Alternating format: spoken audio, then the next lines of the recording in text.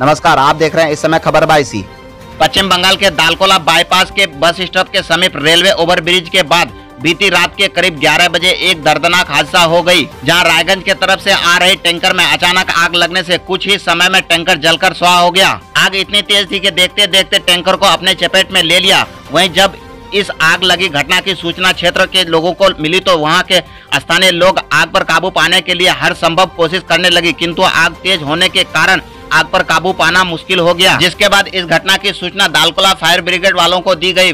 Dalkola fire brigade सूचना मिलते ही घटना स्थल पहुँच कर वहाँ के स्थानीय लोगों के सहयोग से आग पर काबू पाया। तब तक टैंकर जलकर राख हो चुका था। आग लगने की घटना का कारण का अभी तक कोई पता नहीं चल पाया है।